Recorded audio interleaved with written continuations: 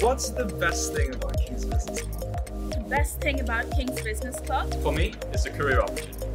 It has to be the people I've met. So I'd say the events are the best thing, without a doubt. Definitely the projects.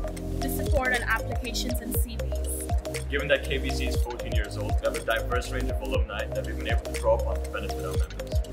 The BCG workshop and Google Office visit, for example. In 2020, we even negotiated internship pathways for master students at VC funds from Taipei to San Francisco. Across KBC's nine distinct departments, our committee hails from a variety of backgrounds and faculties here at King's. I know I can forge valuable connections here for my career, and not to mention make friends for life.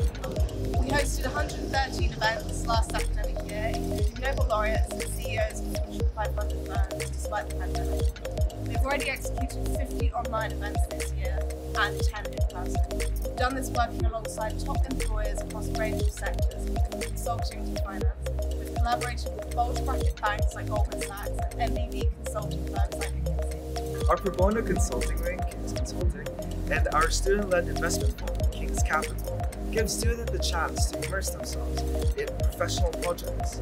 Our latest edition, KBC Conscious, is an ESG-focused department to ensure KBC facilitates sustainability and inclusivity. CV workshops and clinics have really boosted my confidence, particularly in applying to internships and spring weeks in traditionally male-dominated industries like finance.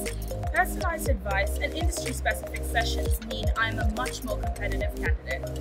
Plus, with a committee from over 20 different countries and a 60 to 40 female to male gender ratio, we are leaders in diversity and inclusion. The best part about all of this is that our membership is free. We're accessible to everyone, hence our ethos to inspire, to educate and to connect. Welcome to Business King's